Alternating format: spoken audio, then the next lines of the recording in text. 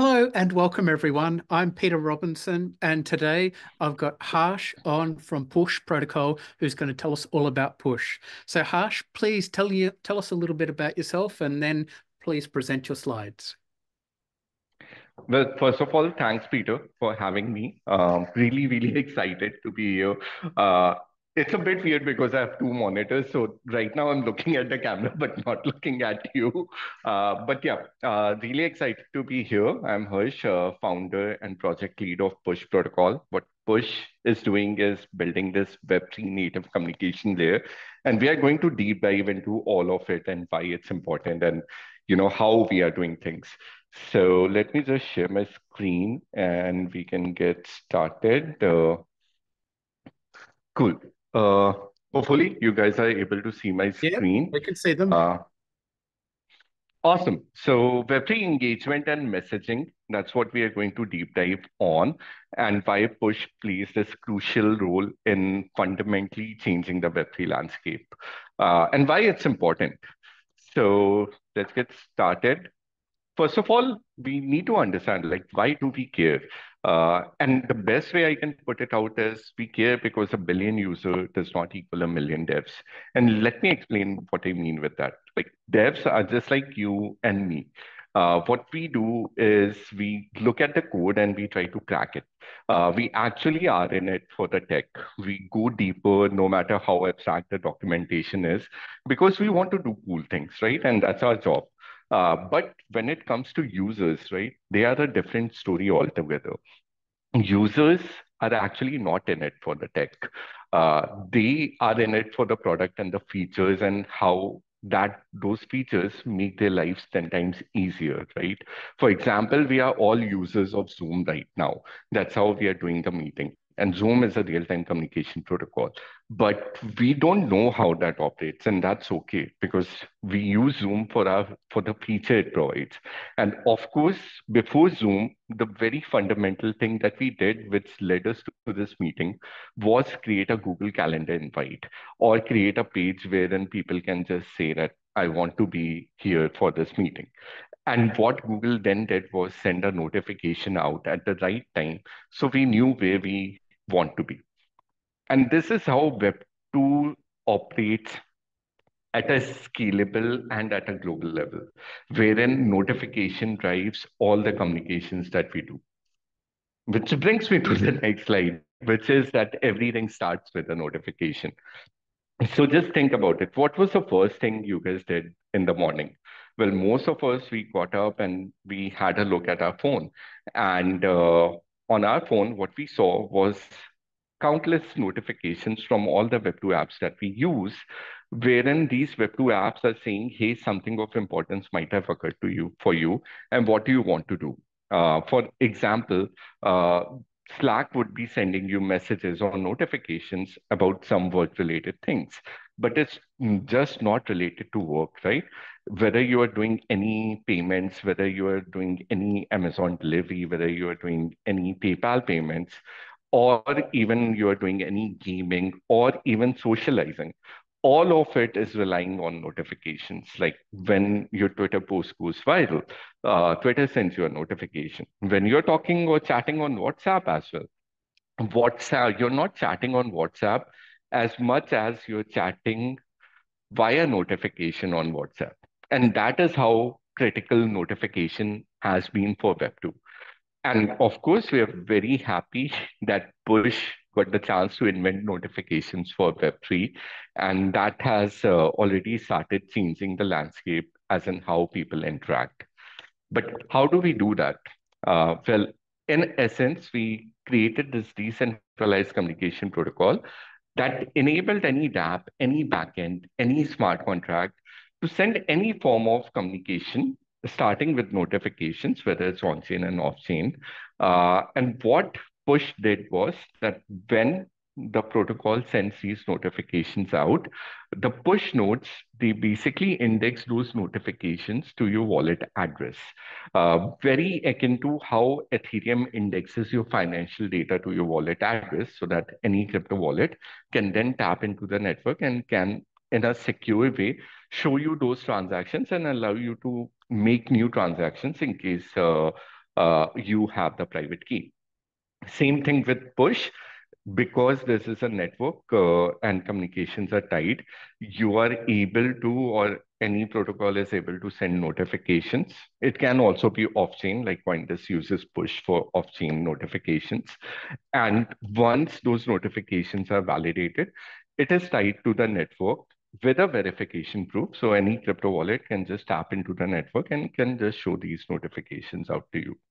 Another example by which you can understand it more properly, like why Web3 related notifications, right? So think about it like this, like whatever we are doing in Web3, uh, we just have two participants. We have this protocol that we interact with, and the only way we interact with this protocol is a wallet address. So the protocol only knows your wallet address and the history of the wallet address, whether you're taking any loans, whether you're doing any governance, whether you're doing a L1 to L2 transfer, or simply sending crypto out or doing anything social. All of it you are not doing, your wallet address is doing, right? So if ENS wants to send a notification out, they can only send a notification out to that wallet address saying that, hey, your ENS domain might be expiring. And it goes even bigger, like if you go to uh, social or Web3 social, or if you go to governance, everything that the protocol knows about you is your wallet address, and therefore that's your Web3 username. And therefore, communication needs to be tied to your Web3 username so that the protocol can finally come and engage you. Just how Web2 apps, they know that something of importance for the user is about to occur and they come and engage. And that's what push notification or push did uh, for the notification landscape. Uh, of course, we also bought notification categories because you need to take care of your users. You don't want to send notifications that are not in, uh, interesting for them. And we also made sure that this is a opt-in only protocol uh, which essentially means that a protocol that wants to send a notification, they first have to come and opt in or create uh, uh, or activate their protocol on push protocol, which is what we call a channel. Once they have created this channel, other wallets uh, can come in and opt in and once they have opted in, the wallet uh, or the protocol can send a notification out to them. Uh, all of these right things or right steps that happen, everything is validated or signed uh, by the wallet address uh, using uh, signatures. So EIP 712 signature, for instance. And because of that, whatever push is doing, all of this is immutable because the content that is getting signed by the user is what is getting uh, validated and stored on the push nodes. Uh, and of course, uh, along with that, we have categories. So you are able to send notifications based on your user preference. And uh, yeah, shout out to Shapeshift, uh, Arbitrum, Lens, Snapshot, like we are working with all of them to enable Web3 related notifications. But yeah, that was about notification, but that was just the start, right? What we wanted or what Push wanted was this to be this de facto Web3 communication layer uh, for all the Web3, not even just uh, Ethereum or EVMs, but for the entire Web3. Uh, of course, you know us from the name Ethereum Push Notification Service because that's how we started, uh, but now we are Push. Uh, but yeah, coming back, after notification was the next best thing that the Web2 world offers. Uh, well, that's socializing, right? That's messaging. Whenever you're talking uh, on any platform, you are essentially talking via messages, like let's say WhatsApp or let's say Twitter or any other platform, like even a gaming platform. You're talking uh, or you're chatting on that platform. And that's what Push also thought that we need to bring after notifications because uh, we really, really closely follow the Web2 world. And in Web2 world, what happened was notifications was invented by Apple, then came WhatsApp, and then of course after that came FaceTime. And this is what uh, uh, was the path that Push followed.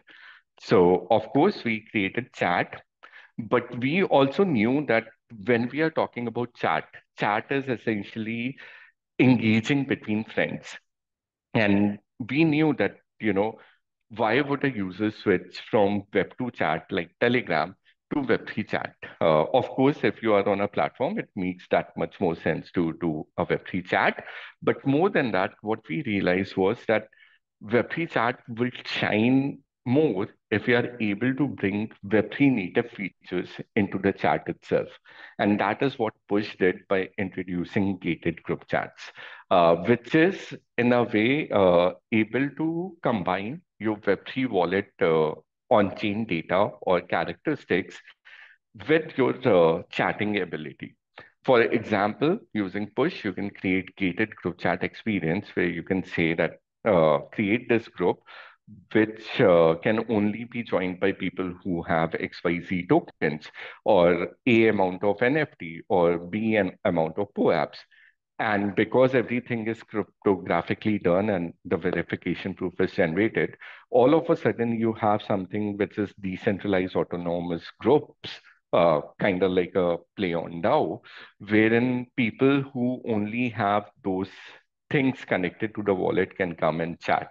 Uh, and you can even take this further, like you can define a condition for joining a group and define a condition uh, for sending a message out.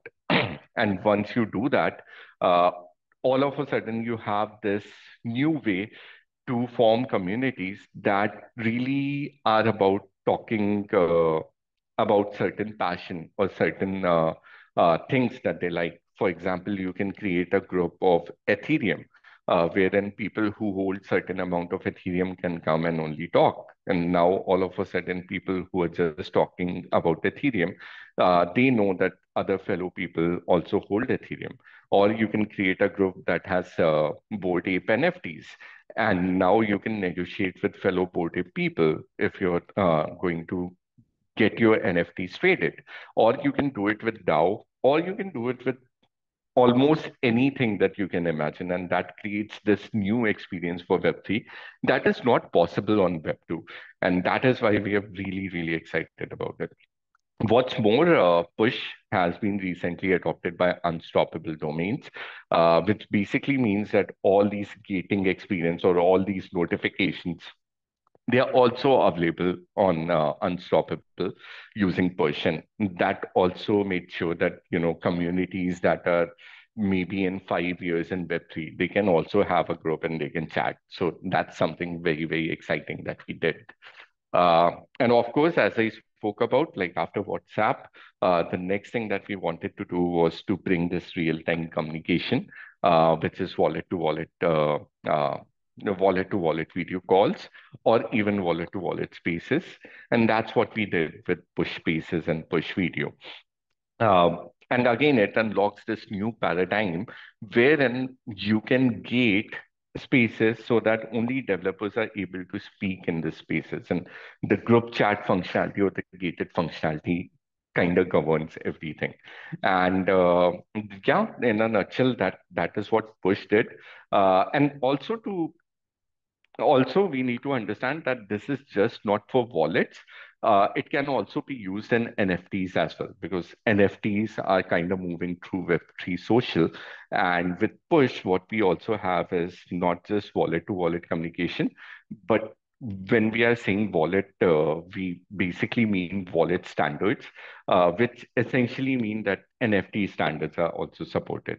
And as I said, like when we were talking first, the vision of Push is to be this communication layer for Web3. And that basically means that we need to support all EVM chains as well as all non-EVM chains. Uh, that's why we follow this format, uh, something called CAIP 10, which basically mean that you don't uh, only assign or talk to the wallet by using the wallet address. Of course, it's abstracted away. But in the background, what is happening is that when you're talking to a wallet of Ethereum, you are basically following this 10 format, which is a blockchain uh, agnostic standard, uh, which means that you also attach uh the chain uh, that you're talking to or the standard that you're talking to. In Ethereum case, it's EIP 155. Then the chain name for Ethereum, it's one. Uh, let's say if you're talking on Matic, it will be 8001, followed by the channel address separated with semicolons. And what it does is it basically makes sure that push from the very start is compatible whenever we decide to go non-EVM as well, because all of these wallet standards are basically supported. Same thing with NFT. There is this NFT format that we have uh, come up with. And using that, you can basically ensure that you can talk to NFTs of any chain. And yeah, just by doing this, Push essentially empowered or has sent more than 68 million notifications to over 175,000 subscribers and have 650 plus integrations out, uh, which is what you see over here. So this is basically what push protocol is or the features of push protocol. Now let's see what happens or how push network operates and uh, what happens in the background. So just to refresh your knowledge, I am sure all of you know uh, the difference between traditional systems or crypto-related systems. Uh, but just to make sure, like in traditional or Web2 systems, what we had was client server and we had uh, was distributed model, all of which was okay because there was this one source of truth which everybody relied on in a way. And because of that, everything worked well. But then came peer-to-peer, -peer, which essentially meant that anyone can run the software, but of course it didn't had incentives and that basically lacked this thing wherein people were not incentivized to run the software or nodes and that basically led to what we call as Web3 or decentralized world, wherein there is no network control. Uh, everyone is able to run the nodes. But when they are running the nodes, there are economic incentives to make them aligned or to reward them for running the nodes. And they are slashing incentives to ensure that malicious nodes is getting kicked out. Uh, which basically was what our motivation when we started creating uh, push nodes or the push network or blockchain of communication. We wanted it to be permissionless because, of course, Web3. Uh, we also wanted this to be proof of stake because we loved how Ethereum moved to proof of stake and uh, how effective it has been. Uh, and of course, we realize that this communication layer that we are building, it will require multiple nodes. Uh, I'll go into detail a little bit later into it. Uh, but just to ensure that we are able to separate computation effort and storage efforts, we ensure that it has multiple nodes. And another thing, what we wanted to do was we wanted to scale this network uh, in terms of making sure that communication is almost near real time, if not real time and also in terms of making sure that the communication is able to be effectively fetched really, really fast, uh, which basically led us to create a push network. Uh, just shout out to the graph because we got really inspired by the way they've worked uh, and the way they guarded the network and the way they sharded the network. So what was the design that we came up with uh, for the push network? uh, well, we came up with three nodes that essentially do uh, different different stuff. Uh, one of those is validator nodes. Uh, validator nodes, think about them as the nodes that are able to provide APIs and that are able to validate all the works. See, I already mentioned that whenever you, you're using any write API calls, all of it is signed because if you're looking at decentralization, you have to look into decentralization in two ways. One is that the content needs to be immutable so that a central party cannot uh, change the content. And second is that the content cannot be censored. So Push has been doing part one from day zero, which was making sure that everything is signed by the wallet and because of that, the content that is getting uh, delivered, that cannot be changed uh, by push, even if we wanted to. But the second thing that content cannot be censored, that can only happen when you have nodes. So you are able to split or you are able to make sure that even if the content is getting dropped by another node, the all the rest of the nodes, they are able to validate those content and they are able to punish the subsequent node who's dropping the content out. And that is where validated nodes come in. Think about it more like computational nodes because their job is really computational heavy. They basically validate all the work uh, that's getting done. They basically validate what notifications are coming, whether the channel that is sending the notification out, uh, that's indeed uh, uh, the signature of uh, those uh, and the match. And even when the notification is going out to a wallet or to a Web3 user, uh, those Web3 users have uh, indeed opted in uh, to that channel. If they haven't, then the notification still is sent, but it's delivered on the spam. And same with the chat, like if you are not connected with the uh, wallet, uh, then the chat essentially goes to the request tab, or you can even block this out because again, you need to be uh, very, very user-centric when you're designing a Web3 protocol. The second thing that we did was that we launched uh, or we are launching storage nodes. Uh, the job of the storage nodes is to store all the data because communication will become heavy as we go forward. So essentially, the computational uh, effort that's taken up with the validator. And uh, the storage effort is taken up by something called storage node. And their job is easy. They only listen to validator nodes and they in they basically store and index the data and also reshard the data based on uh, the smart contract uh, that we have that governs the entire design. Then we have delivery of notifications, which is done by delivery nodes, uh, because in the end, when you have a notification from a wallet address, right? You might want to do certain other things uh, uh, to it. For example, MetaMask might want to send an email to the user, or MetaMask might want to even use Google or Apple notification service to further send uh, that notification of the wallet out to uh, the iPhone of the user or to the Android of the user. And that's where delivery nodes come in. Delivery nodes are essentially local. They are not uh, uh, part of the network, but they are connected to the network to make sure that any person or any crypto wallet or any crypto dApp that's uh, listening to these notifications, they are able to also uh, put in their critical confidential data and make sure that the notification can be routed to other third uh, other parties as well, or uh, even other Web2 apps. And then, of course, we wanted to make sure that the network is guarded, which is done via smart contracts. And uh, also, we wanted to make sure that the network is able to shard, which is also done by smart contracts. And we are going to just uh, understand like how that works. So to begin with, whenever you are going to run the network, what you have is something, uh, or whenever someone wants to run the network, they need to decide what sort of node they are going to run. Uh, let's say they wanted to run a validator node. Uh, what they do is they stake uh, a part of push into the smart contract, and the smart contract uh, has this list of validator nodes uh, and whenever it gets a stake from any person that wants to run the validator node, it also asks for the peer info of that validator node, which helps in peer discovery.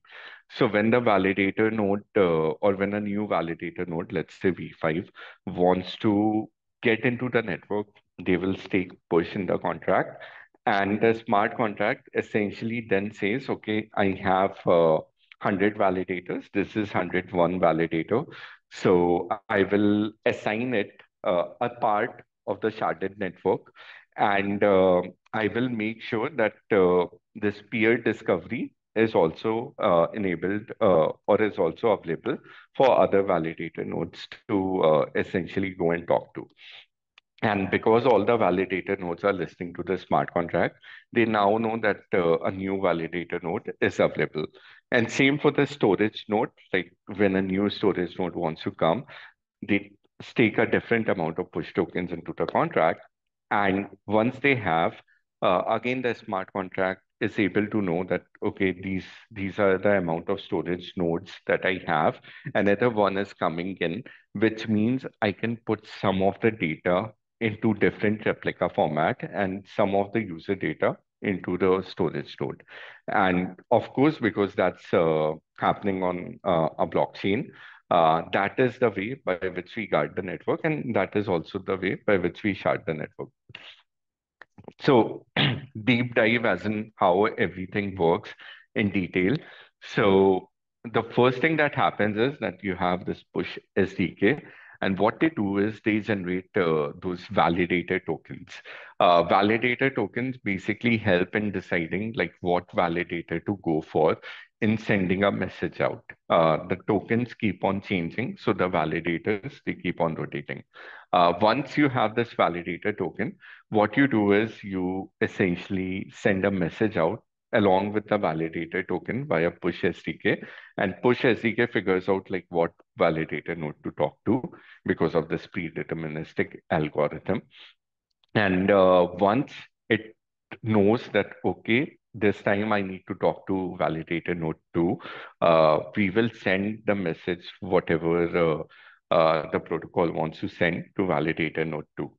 And at that point of time, validator node 2 will start accumulating all the messages that are getting delivered to it uh, for a 30 second block period, which is called as a message block.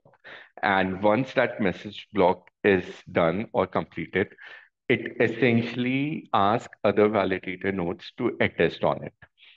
If the attestation goes fine, then everything is delivered to the storage node and also to the delivery node, because if you're doing this last mile delivery, and uh, uh, if everything works well, then yeah, the entire system works and nothing gets broken. But what happens when a validator node stops performing or the validator node turns malicious? So in this case, like everything worked well, it went to storage and delivery node. But in case the validator node one, let's say created a uh, non uh, created a block, but validator node four said uh, no, I don't think uh, the attestation or the signature match.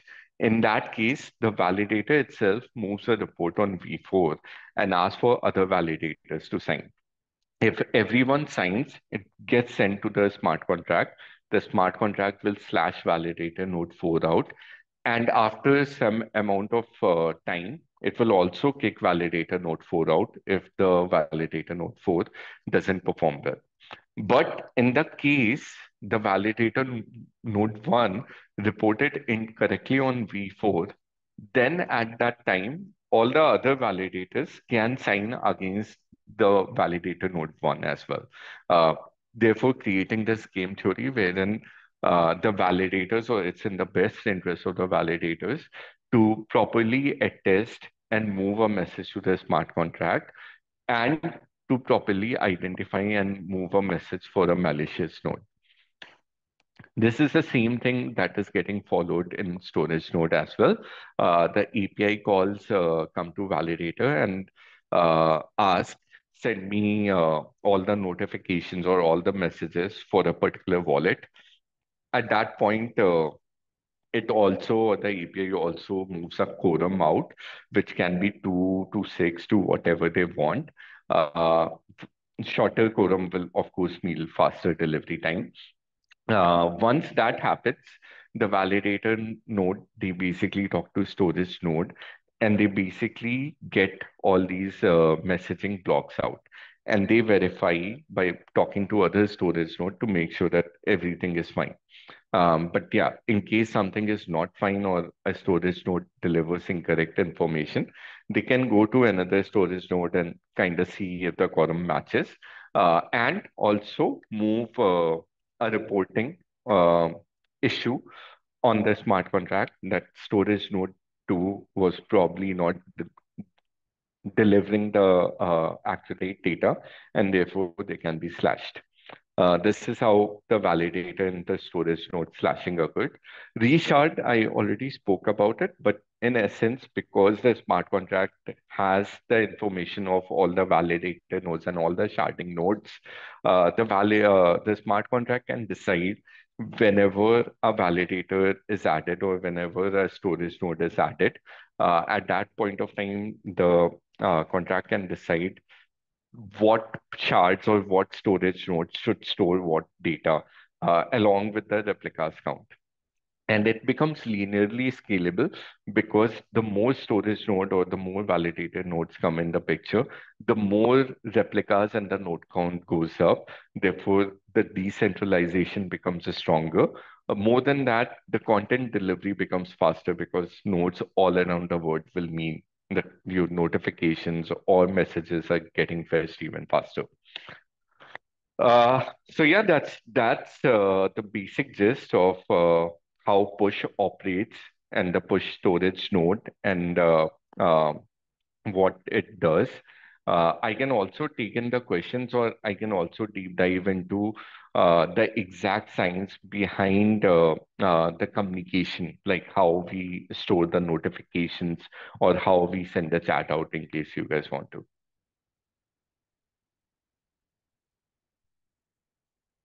So let's have a look at the I, I haven't been looking at the chat, so I'm not sure if there are questions in chat. Uh, let's have a look. No questions in chat, which is a good, good one. So, so you you require a forum of validators to say that a, a message is valid. Um, if if a validator doesn't, you know, has like got something that others don't agree happened, do they get slashed or what, what happens to them? Exactly, exactly. So let's say you validated a message, you need to move for attestation of the message before the storage node can index it. And at that point of time, the other validators, they basically attest on the message. And let's say any validator found that no, the signatures that are sent in those messages, they are not matching, then that other validator can move uh, a reporting scenario on the smart contract. In that sense, or when that happens, the validator who's moving the report out, they are also staking their reputation that, okay, Peter's validator is not working. So if every other validator attests that yes, Peter valid, uh, validator is not working, then the smart contract slashes a part of your stake token. But in case other validators disagree, then also the reporting moves forward. And in that case, the validator who moved the malicious report, they get slashed. Okay, that makes sense. Thank you. Um, I think David's got a question in um, chat. Uh, thanks, Peter. Um, Harsh, I saw okay. early in your in your talk that uh, notifications are gas free, but your contracts incur gas, and I'm wondering how your operators compensated for operating costs, including gas. Thanks.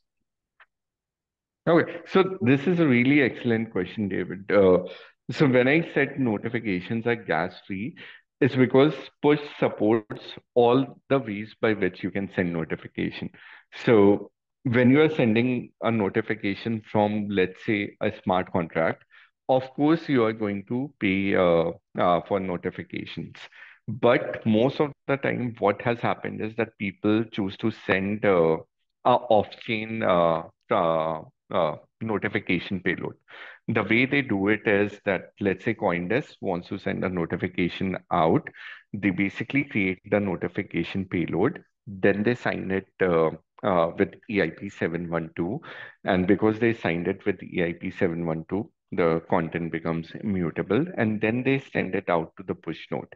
Uh, and because this is done in the off-chain uh, fashion, the push node can index it because they have the signature, they know that, okay, this wallet or this protocol actually send a notification out.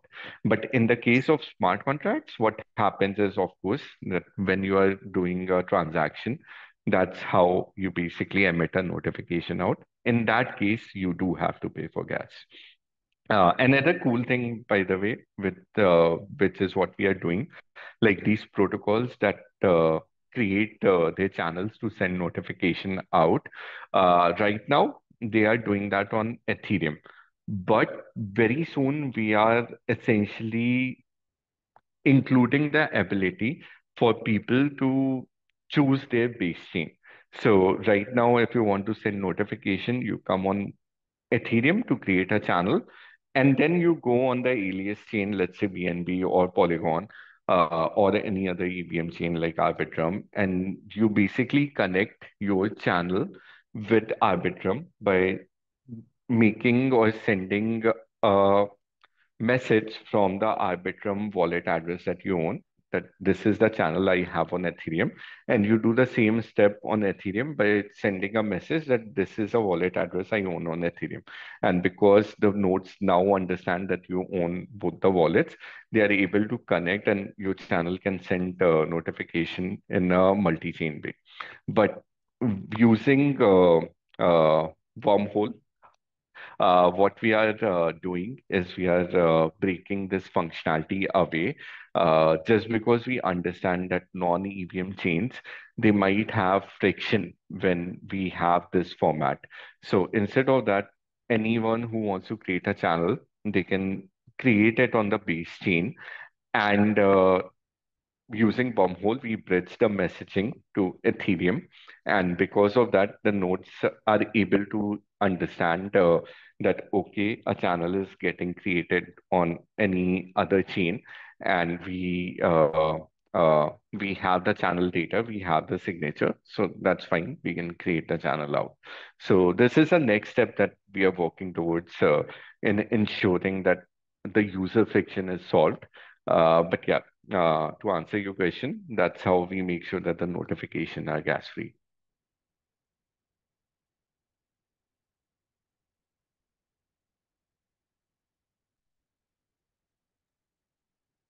Um, all right. Does anyone else have any more questions? So I have a few questions, uh, if nobody has any. Please far away. Yeah, okay. So the first thing uh, I want to make sure I understand it, uh, so in push you implement your own chain. So you've got storage and the reward and slashing mechanism implemented as a side chain, right? And there's cross-chain communication uh, implemented within smart contracts. Correct. So it's not a side chain in a way. No. Uh, actually, you can call it a chain. Like uh, I think uh, we can call it a chain. Uh, what is happening is that uh, the network uh, it essentially already collects the signature or already validates the signature. So because of that, uh, uh, there is uh, already a verification proof that gets passed along.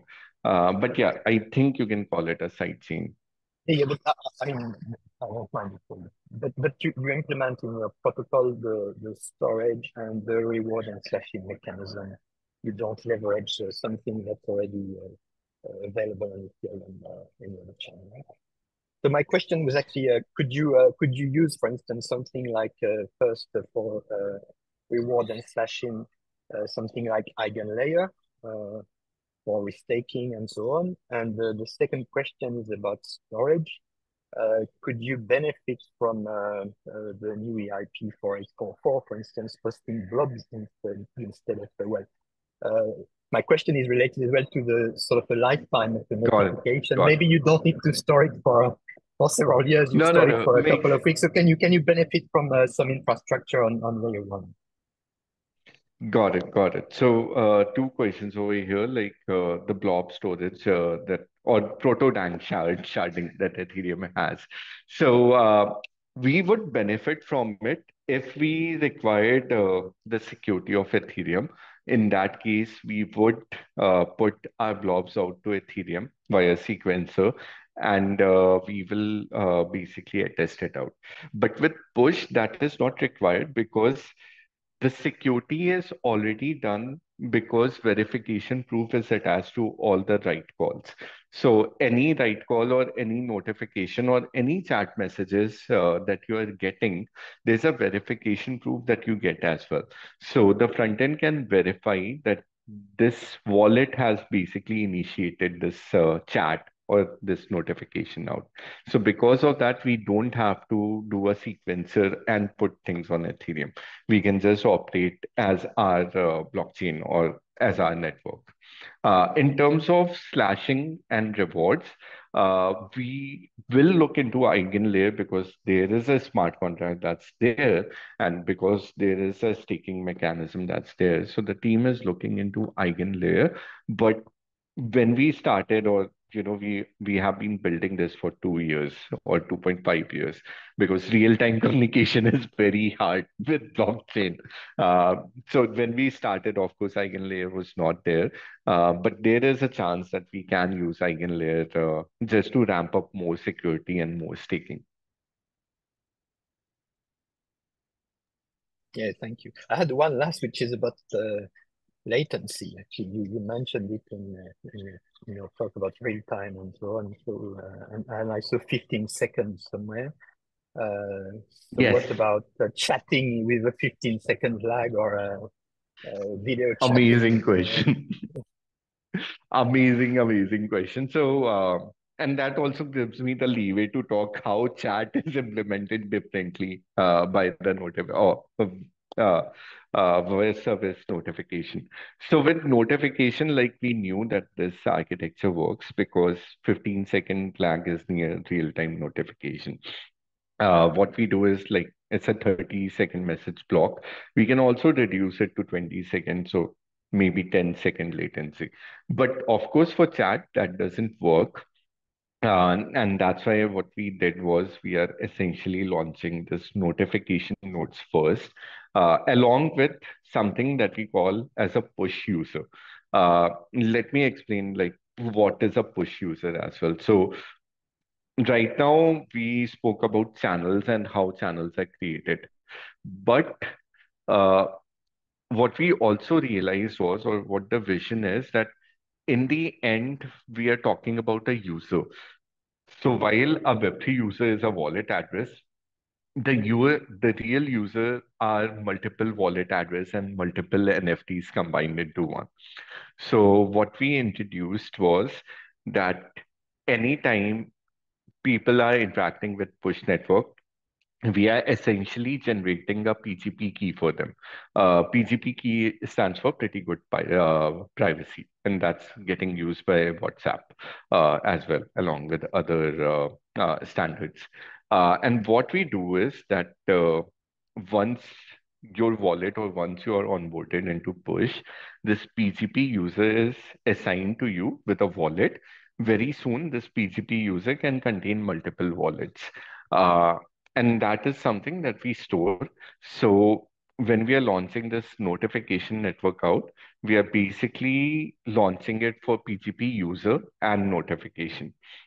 Now, when it comes to chat, that's where the PGP user becomes very interesting because what we do is that this PGP user gets encrypted by either your wallet or in case you're using NFT, then a different encryption algorithm. And when it's getting encrypted by the wallet, it is not getting encrypted by the wallet. A key is generated. That key encrypts PGP key. And then this key gets encrypted by the wallet. So because of this, when you're talking or when you're chatting or when you're sending notification or doing real-time communication, you're doing it with the PGP user. But the encryption is getting controlled by the wallet. And because this is a double encryption, you can also move to a non-EVM and have a new encryption algorithm for this key. And as long as the key unlock works, the wallet or the PGP user will be unlocked and you are able to chat. So that is something neat. It means that you are not tied to the wallet. And that is how NFT wallets also operate because NFT you cannot even encrypt with the wallet. So what we do is three way that we generate a key, then we generate another long phrase that encrypts the key. And this long phrase encrypts the wallet that holds the NFT.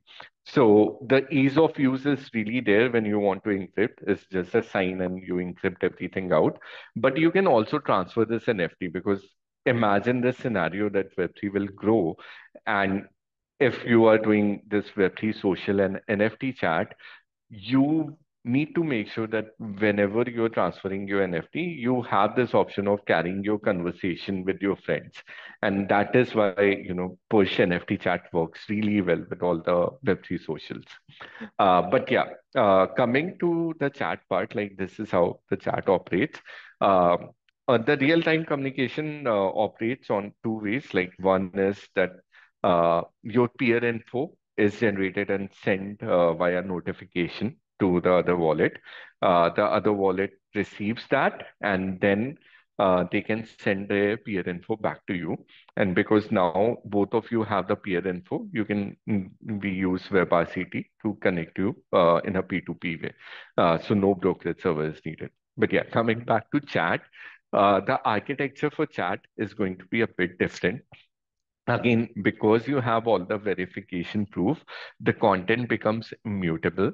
In chat, what we'll do is probably a DPoS approach, wherein chat is sharded, but a node is getting assigned so that whenever you're chatting, that single node essentially is responsible for chatting uh, between people, while other nodes are kind of replicating the data that is happening or that is happening on the network. The idea is that let's say this tunnel or this relay goes down, you can switch to another relay. And because the relay has those verification proofs, you can carry on. So with chat, it's not going to be a quorum based scenario. This is what we are thinking right now. Uh, it's going to be a DPoS network uh, wherein everything is getting archived. So in case a node or a relay is giving you a problem, you can switch to another relay. And because this PGP user is sending all these payloads and encrypting all these payloads out and doing this verification proof or attaching it out, it kind of works because you don't have to rely on a relay to do anything other than relaying uh, the information from one peer to the other. Thank you. Thanks. Thanks, Frank. Those were really very cool questions, by the way. Gave me a sweat as well as I tried to remember all the things. So yeah. Good good questions are good uh, make a good video i often say that um, people should pretty much skim the, the whole talk and watch the question time question time's where all the interesting stuff happens um, why don't you switch to the next slide? Let's go through the next bit. Okay, there is a merch store. Um, you go to the link. If you go into YouTube and to shop, um, there's a it's not showing up at the moment. There's a problem with the um, YouTube Fourthwall integration. So anyway, I'm sure it'll be fixed at some point soon. Um, okay, next slide.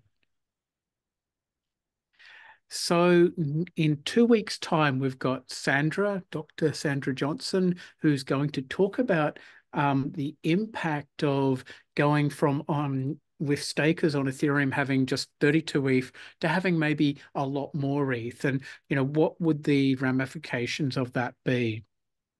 We've then got a few more talks. The layer zero talk is going to be by probably the CTO. Um, and I'm going to do a talk in June there about random number generation. Uh, next slide, please. Okay. All right. So, um, yep, if you're watching this um, live, it's on YouTube. Um, if you're watching this on YouTube, go to the meetup and you can join live.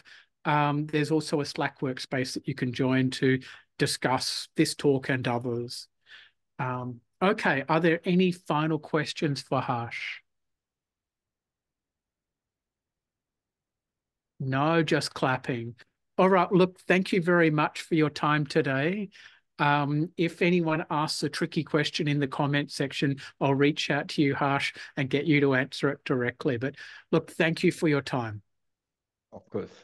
Thanks, thank thanks, you. Peter, and thanks to an awesome audience for listening in. Thank you. Okay. Bye bye. Bye bye. Thanks, care. Harsh.